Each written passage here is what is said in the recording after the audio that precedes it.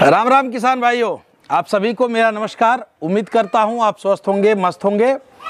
मित्रों, चूँकि इस समय आप पीछे देखिए, नीम का पेड़ है, ये मेरे द्वारा लगाया गया है, ये अच्छी बात है। आज मैं आपसे चर्चा करूँगा कि इस समय बहुत ज़्यादा परेशान हमारे किसान भाई शत्रु कीटों से हैं।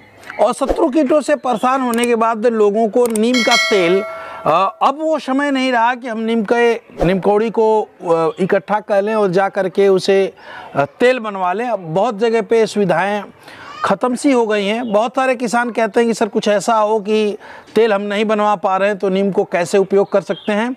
ये वीडियो मैं उनके लिए बता रहा हूँ, जो वेजिटेबल फार्मर्स हैं या जो और चीज़ों की खेती करते हैं। जिनके पास नीम का पौधा तो है, वो तेल नहीं निकलवा पाते। फिर भी वो चाहते हैं कि नीम के वजह से हमारा पेस्ट मैनेजमेंट हो, किट कंट्रोल हो, उनके लिए विशेष तरह से, विशेष वीडियो में बना रहा हूँ। आप इस वीडियो के माध्यम से जान पाएँगे कि आप किस तरीके से, कितनी आसानी तरीके से अपने खेतों में pest management without any money यानी बहुत पैसा नहीं यानी नीम आपके घर का है तो सब कुछ फ्री है और नहीं तो 10-15 रुपए किलो यदि नीम कौड़ी मिल गई तो ये समझ लीजिए कि 50 से 60 रुपया पर एकड़ के खर्च से आप एक एकड़ का स्प्रे कर लेंगे और सबसे शानदार रिज़ल्ट आएगा, सबसे शानदार परिणाम आएगा। देखिए, कहना क्या है? जैसा कि आप जानते हैं कि इस समय नीम फल रहा है, मेरे हाथ में यह है नीम कौड़ी। नीम की वजह से देखा जाए तो नीम की कोई भी चीज़ पत्ते से लेकर के इसकी टहनियाँ, इसकी छाल कोई भी नुकसानदायक नहीं होती। सबके आयुर्वेद में सबके महत्व हैं और सभी काम लायक होते हैं। लेकिन आपको जान के हैरानी होगी कि नीम का तेल यदि नहीं यूज़ कर पा रहे तो भी आप चाहें तो बड़े आराम से इससे कीटनाशक बना सकते हैं।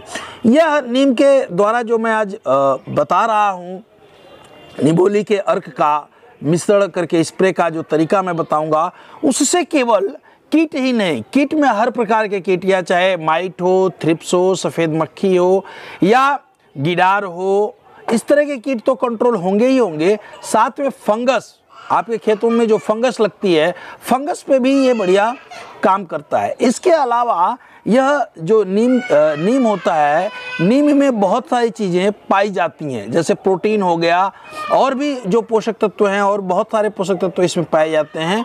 तो जब आप स्प्रे इसका करेंगे तो केवल ये यही नहीं दिखेगा कि केवल कीट कंट्रोल है, बल्कि आपके पौधों में एक चमक दिखेगी, आपके पौधों में ग्रोथ अच्छी दिखेगी। तो कहना क्या है देखिए, आप इस तरह की जो निम्बोली है, निम्बोली आजकल मिल जाएगी, निम्बोली को इकट्ठा करें, और एक एकड़ के हिसाब से मैं आपको ये घोल बता रहा हूँ। एक एकड़ के हिसाब से लगभग एक एकड़ के लिए पाँच किलो इसका फल इस्तेमाल करें। पाँच किलो निमकौड़ी को इकट्ठा कर लें। इसे आप चाहें तो सुखा करके कई सालों तक रख सकते हैं। तो इसे आपके ऊपर डिपेंड है, ज़्यादा मात्रा में हो तो इसको सुखा लें। सुखाने के बाद या इस दौरान आपने फ़सल लगा रखी है, जैसे बहुत सारे लोग अभी मिर्च की खेती करेंगे तो उस पर भी माइट और थ्रिप्स का बहुत ज़्यादा प्रकोप होता है। तो उसके लिए आपको क्या करना है कि पाँच किलो नीम के इसके नीम कौड़ी को, पाँच किलो नीम कौड़ी को ले लेना है इसको, और ले करके इसे अच्छी तरीके से कूट लेना है। इसे सुखा लीजिए और सुखा लेंगे, सुखाने के बाद इसे रख सकते हैं और रखने के बाद जब पाँच किलो हो जाए तो इसे बढ़िया से ओखल में या मिक्सर में ग्लेंड कर सकते हैं आप इसको। यानी एकदम धूल नहीं बनाना है, लेकिन चूरा तैयार कर लेना है। चूरा जब पाँच किलो का तैयार हो जाए तो इसे प्लास्टिक की बाल्टी में 24 घंटे के लिए लेकर के भिगा दीजिए। उसे चलाते रहिए। जब आप इसे भिंगाएँगे और चलाएँगे तो आप देखेंगे कि पानी जो था, वो आपका सफ़ेद हो जाएगा, एक अलग कलर का हो जाएगा। तो इसे 24 घंटा भिंगा दीजिए। 24 घंटा भिंगाने के बाद कम से कम सूती कपड़े का डबल लेयर सूती का कपड़ा बनाएँ और उसे आसानी से खूब बढ़िया से चला करके हाथों से छान लें। अब जब छानेंगे तो इसको आप दबा दबा करके इस तरह से मुट्ठी से बिल्कुल छान लें और जो पानी इस्तेमाल करना है पाँच किलो में, कम से कम बीस लीटर पानी में इसको बनाइए। और इसके अलावा जब बीस लीटर पानी आप छान लेंगे तो उसमें और भी जब तक निकले, तब तक निकालिए। यानी जब तक उसमें से निकले, यानी ये क्रिया आप तब तक कर सकते हैं जब तक आपका पानी सौ लीटर ना हो जाए। बात को समझिएगा।